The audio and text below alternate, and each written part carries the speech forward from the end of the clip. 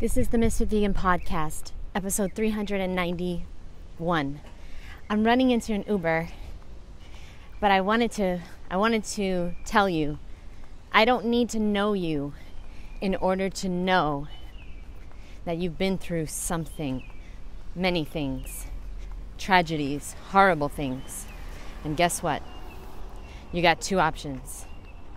You can either let that stop you and keep you from doing the things you know you were born to do, or you can do them because those things happen to you. That's the choice you get. You get to use your trauma, your abuse, your pain, you get to use it to succeed, or you get to let it stop you. It's going to push you, or it's going to pull you.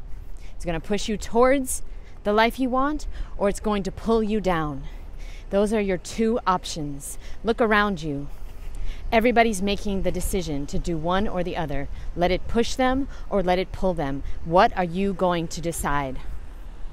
Thank you for listening. Bye.